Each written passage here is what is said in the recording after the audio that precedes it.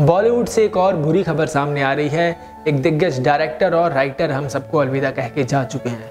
कौन है वो शख्स? आइए बताऊँ मैं आपको। हेलो दोस्तों, मैं अभिषेक और आप देख रहे हैं भूगल बॉलीवुड। दोस्तों फ़िल्म मेकर सागर सरहदी की अगर हम बात करें तो वो शॉर्ट स्टोरी राइटर थे और उन्होंने काफ़ी ज़्यादा नाटक भी लिखे थे उर्दू में। लेकिन उनकी पहचान हुई फ़िल्म कभी कभी से, क्योंकि उस फ़िल्म के उन्होंने डायलॉग्स लिखे थे। तो अब खबर सामने ये आ रही है कि काफ़ी लंबी बीमारी से जूझने के बाद अब वो इस फानी दुनिया को अलविदा कह के जा चुके हैं। जी हाँ सागर सरहदी, जिन्होंने काफ़ी मूवीज़ के स्क्रीन प्ले लिखे हैं और काफ़ी मूवीज़ के डायलॉग्स लिखे हैं वो हम सबको अलविदा कह के जा चुके हैं।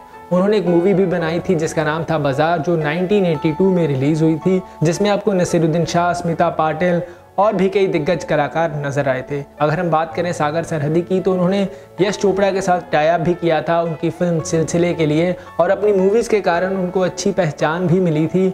और उनको काफ़ी ज़्यादा अवार्ड्स के साथ सम्मानित भी किया था। लेकिन अब खबर सामने ये आ रही है कि इस दिग्गज डायरेक्टर और फ़िल्म मेकर का निधन हो चुका है। काफ़ी कलाकारों ने अपने सोशल मीडिया पे आके इनको श्रद्धांजलि दी है। हंसल मेहता से लेके जैकी श्रॉफ तक सबने इनके बारे में पोस्ट किया है और उनको श्रद्धांजलि दी है।